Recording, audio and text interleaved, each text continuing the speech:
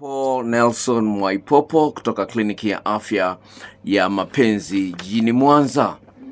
Usiku huu wa leo, msikilizaji wa Radio Free Africa, na kuletea mada inayosema mwanaume anavyomharibu mwanamke kimapenzi, mwanaume anavyoweza kumharibu mwanamke kimapenzi. Hii ndiyo mada ambayo ninayo siku hii ya leo, msikilizaji wa Radio Free Africa. Ni jambo la msingi sana ufahamu katika mahusiano ya watu wawili wa jinsia mbili tofauti. Kuna mambo ambayo yanapaswa yawepo katika mahusiano hayo ili mmoja ajisikie anapendwa kikamilifu. Pale ambapo mpenzi anajiona kwa sehemu kubwa hapendwi kikamilifu, anajiona kama vile anajipendekeza.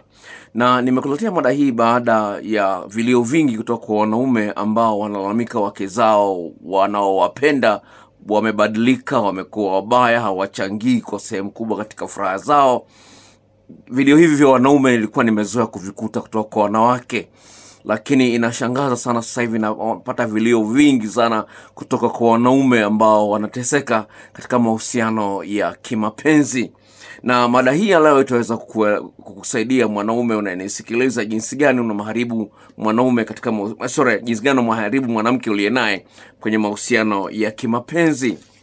La kwanza ambalo unapenda ulifahamu mwanaume mwenzangu ni kwamba ni kweli ipo tofauti katika jinsi gani akili zetu zinafanya kazi. Ubongo wa mwanamke unavyofanya kazi kuna tofauti fulani ipo na ile ya mwanaume. Kwa mfano tafiti za kisayansi zinaonyesha wazi wazi kabisa kwamba mwanamke ni mwepesi sana kujifunza lugha kuliko mwanaume.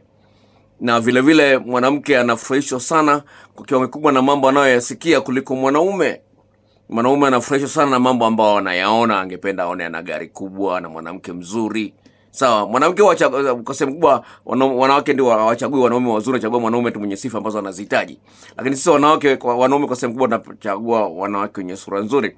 Yes kuna wanaume ambao wamechagua wanawake ambao hawana sura nzuri na wanawapenda lakini ni tofauti unazungu nasema ni exception. Na silo peke yake vilevile akili ya mwanaume ilivyoumbwa. Akili ya mwanaume ina njia moja wakati akili ya mwanamke ina njia mbili. Akili ya mwanamke inaitwa multitasking brain yani inaweza kufanya kazi mara mbili kwa mpigo kuliko wakati ya mwana yani mwanaume akiwa ameconcentrate kwenye kitu moja akiwa anaangalia kitu kimoja uh, yuko pale pale akili yake yote ime, ime, ime, ime pale. Lakini mwanamke anaweza kuwa anafanya kitu kimoja lakini huko akili yake inafanya ina, ina, ina, ina kitu kingine tofauti na kile kwa hiyo unaweza kuona jinsi gani eh, kuna- hiyo tofauti hiyo ipo. Kwa hiyo kuna mambo mengi ambayo yanatofautiana na ndio maana hata biblia inazungumza kwenye waraka wa kwanza wa petro sura ya tatu inawaambia wanaume wanaume ishini kwa akili na wake zenu. Eh, sema wanaume isheni kwa akili na wake zenu.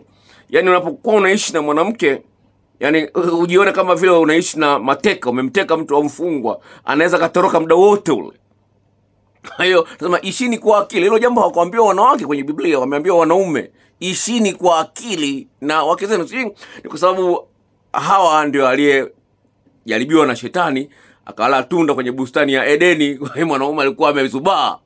Mwanamke akaenda tembea kukutana na shetani shetani akamtongoza. Akamwambia bwana umedanganywa na mungu. Unaweza kuona jinsi gani. Kwa hiyo kwa hiyo hali hiyo ni hali halisi. Kwa hiyo usipotafuta mbinu za kumwelewa mwanamke utaendelea kumlaumu na kumwona hafai wakati anafaa lakini shida hujamuelewa. sawa? Shida ni kwamba hujamuelewa, utamwona hafai. Naomba unisikilize sawa? Mada hii imesababishwa na swali ambalo limetoka kwa msikilizaji wa hapa Africa. Naomba nilisome swali hili. Nasema hivi dr pole kwa kazi. Nimesikiliza kipindi chako na ni kizuri sana naamini unaweza kuwa msaada kwangu. Naitwa yohana shija kuna mwanamke niko naye kwenye mahusiano. Sasa unaenda mwaka wa tano. Naona amebadilika. Wakati tunabadilishana naye namba tulikuwa tuna chati sana. Asubuhi aliniamsha niende kazini lakini ndani ya mwezi ulioisha wa nane tunasalimiana tu. Anakaa kimya kwa muda mrefu Sasa hali hii imekuwa mbaya zaidi. Mwezi huu ulioanza wa tisa, nikituma SMS hajibu, nampenda dokta, nifanyeje? Nisaidie. Unaweza kuona uhusiano wa miaka mitano ndani ya mwaka huu elfu mbili na ishirini ameona mabadiliko asiyoyapenda na amekutana na mabadiliko asiyo yapenda yanayomhuzunisha yanayomkosesha yanayomkosesha raha. Kwa mabadiliko yote yale ambayo yanakukosesha raha toka kwa mpenzi wako ni mabadiliko ambayo eidha umeyasababisha bila kujua au mwenzio ameamua tu kubadilisha mtazamo wake. Kwa mfano ulikuwa una pesa kusababisha yani kusababisha kwako kwa- sasa pesa zimeshuka. Mwanamke kabadilika uwezo uchumi wako umeshuka. Kipato chako kimeshuka. Mwanamke kabadilika kwa maneno mengine kwamba ulichagua mwanamke ambaye hajakupenda wewe amekupenda wewe kwa sababu una pesa. Sio kwa sababu kwa hiyo ni kitu ambacho kiko juu ya uwezo wako kwa sababu pesa zimeshuka uchumi umeshuka. Kwa hiyo amebadilika kwa sababu ya uchumi ulionao. Kuna mabadiliko mengine umepatwa na tatizo la nguvu za kiume. Umepata tatizo la kuwahi kumaliza. Na alikuwepo mwanzoni sasa hivi ameanza kuliona na hana ujasiri wa kukuambia. Atabadilika. Sawa sawa. Kwa hiyo sasa sasa kwa hiyo kuna maeneo ambayo yanapaswa uyaangalie. Nimeweka hayo mwanzoni ili uweze kuyaangalia kabla sijaongelea mambo mengine ambayo kidogo ni magumu kuliko haya. Hayo ni rahisi. Sawa? kama tatizo la nguvu za kiume unawahi kumaliza. Si unaishia kagoli kamoja hayo ni rahisi sawa nimezungumzia hayo ni rahisi kwa sababu ni yanaweza yakaondoka kirahisi naomba sasa unisikiliza katika kutengeneza mada hii sawa kuna mada nyingine kuna maswali mengine ambayo ni- nimeamua niunganishe ili uweze kuona ugumu sio kwenye eneo moja sikiliza huyu mwingine anasema hivi Dr. Shikamo, mimi ni kijana wa miaka 24. Kuna binti nampenda sana, lakini yeye haonyeshi upendo kwangu. Nimejaribu kumsahau, nimeshindwa. Dokta, nifanyeje? Mwingine anasema hivi, naitwa Mzava, niko Goyo, Gongo la Mboto, Dar es Salaam.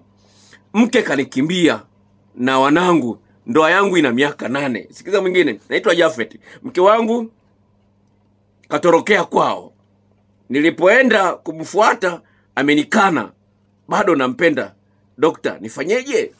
Mwingine anasema hivi, mke wangu kaniacha kisa pesa. Mwingine, dokta, ukiuliza mkeo swali na yeye akakujibu kwa swali tena kwa ukali, unafanyeje?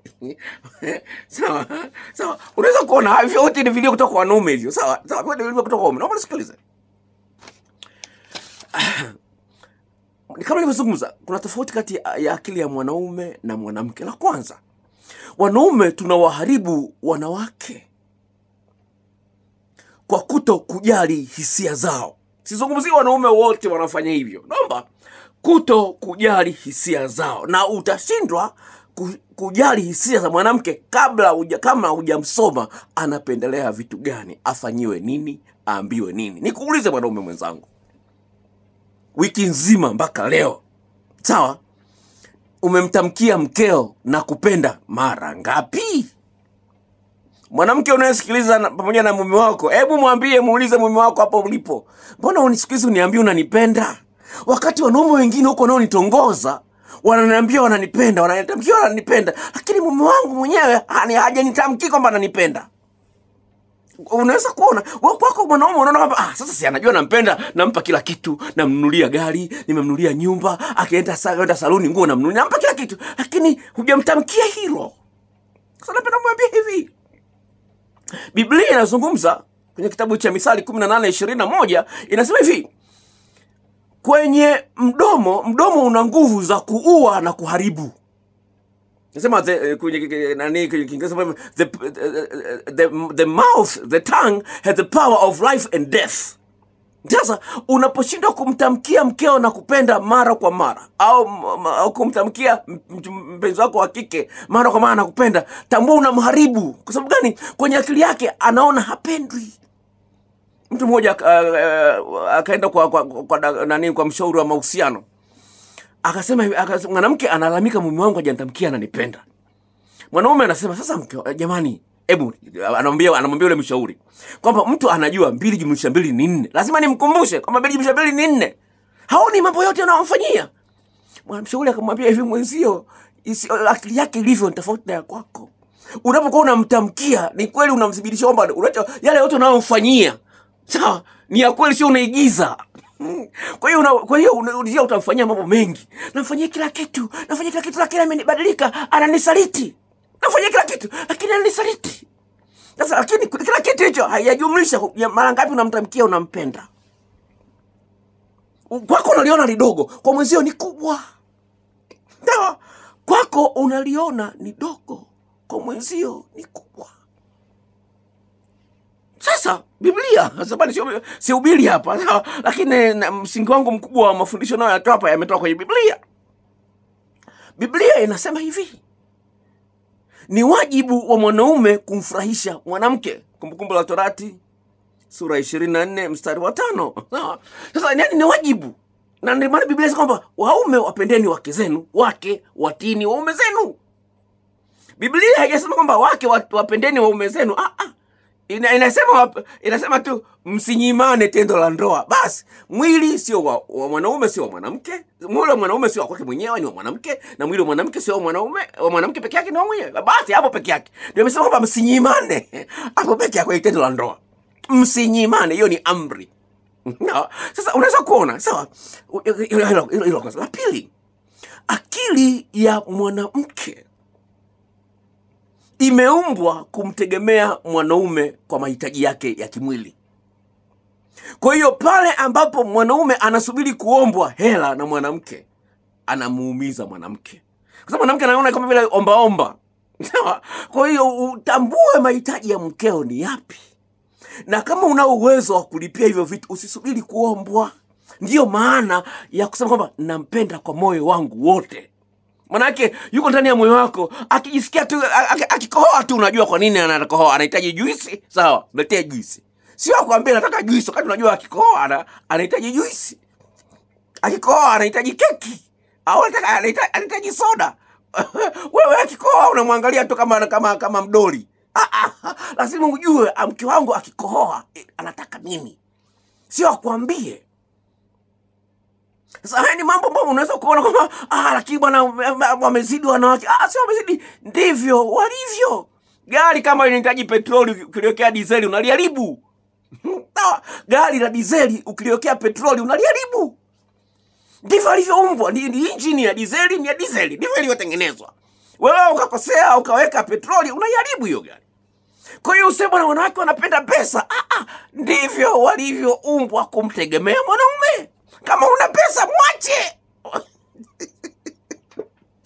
Haleluya! Kama una pesa mwache, useme tu wanawake wanapenda pesa. Kama ana pesa, ndio akili yake ilivyoumbwa. Hata kama ana kazi sawa, hata kama ana kazi bado anahitaji pesa kutoka kwako. Aone unatumia pesa yako kuonyesha kwamba unampenda. Ndivyo akili yake ilivyoumbwa. Kwa hiyo wewe usitumie message oh, na mpenzi anapenda pesa. Ah, usiniulize hilo swali, sikujibu. Kwa sababu unajua wewe unasema gari inapenda petroli, limeumbiwa petroli. Sasa wewe unataka unataka unipe maji. Unataka niweke maji, unataka niweke maji kwenye gari. Pikipiki, wewe utaweka maji kwenye pikipiki kwenye boda boda boda. boda. Utaweka maji, weka petroli. Kwa hiyo- unamharibu mwenyewe. Dada mmoja anipigia simu, aniambia dokta, huyu mwanaume ukimwomba buku tu, maswali maswali mengi kule, buku tu, maswali mengi.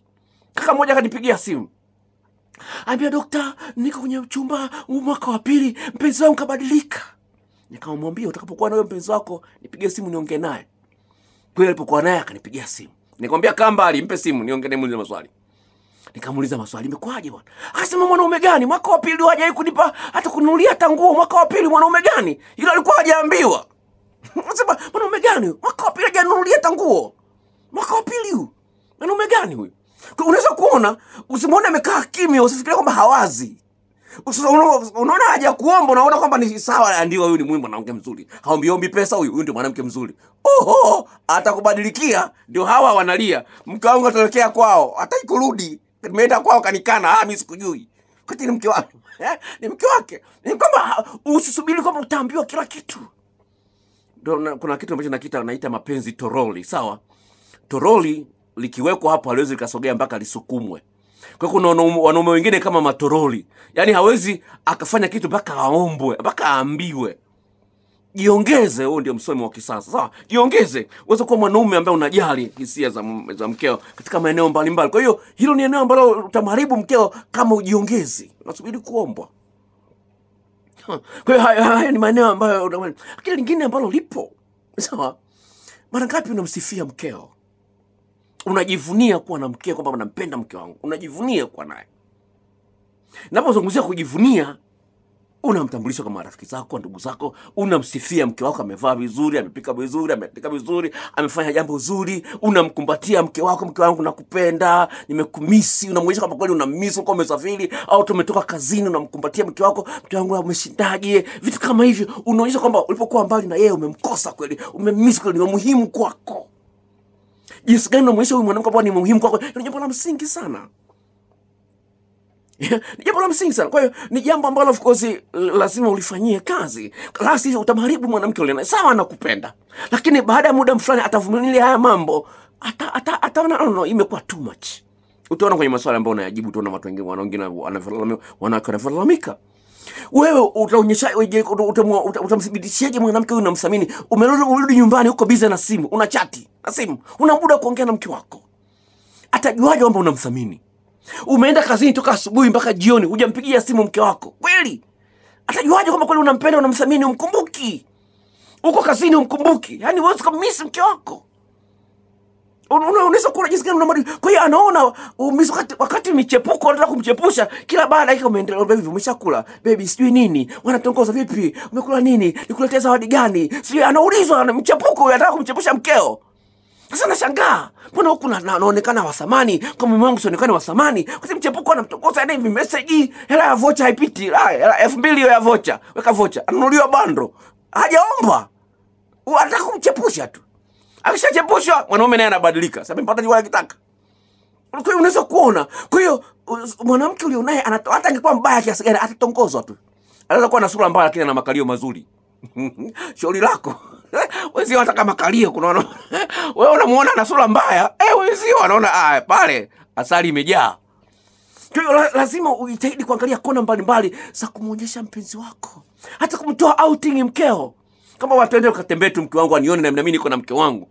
Kutoka na mke wako unaona aibu, kutoka na mke wako atajua yupo nampenda, toka naye Mapete navaa kimini ni, ni, ni, ma- mapaja yao yaone kwamba na mke mwenye mapaja mazuri vitu kama hivyo. Kwa hiyo lazima hakikisha kwamba unajituma kuonyesha kwamba huyu mwanamke kweli ni wa thamani kwako, unajivunia kuwa na huyu mwanamke katika maeneo mbalimbali. Na nimetumia muda mrefu wa kuangalia hayo, lakini mambo mengine utayakuta kwenye maswali ambayo nitakuwa nayajibu, nitayazungumzia kwenye maswali mengine, lakini kwa, ki, kwa, msingi hayo ni mambo ambayo napaswa uyazing- Hii ni Radio Free Africa. Kwa wale ambao wanasikiliza kwenye YouTube, ni Radio Free Africa inatangaza kila kipindi eh, kipindi cha usiku wa mahaba kila siku ya Jumatatu, marudio yake Jumatano. Na msikilizaji, kama una fungulia redio hii kwa mara ya kwanza na unasikia kipindi kwa mara ya kwanza, kipindi hiki kinawepo Jumatatu na marudio yake yanakuwepo Jumatano saa sita za usiku kwenda mbele. Nashukuru sana Dr. Rebeka kwa ushirikiano wako, na nitaanza kujibu maswali. Maswali nayojibu ni ya kipindi cha wiki iliyopita. Sawa, maswali ninayojibu ni ya kipindi cha wiki iliyopita. Kwa wasikilizaji ambao hawana namba yangu ya simu na wanaweza wakasinzia wakati kipindi, kipindi kinaendelea, ningependa niwapatie namba zangu za simu. Naomba usave namba hizi kama Dr. Mahaba au Dr. wa Radio Free Africa. Namba ni hii ifuatayo: 0754 03 9994. Nitarudia 0754 03 99 94. Narudia mara ya mwisho 0754 03 99 94.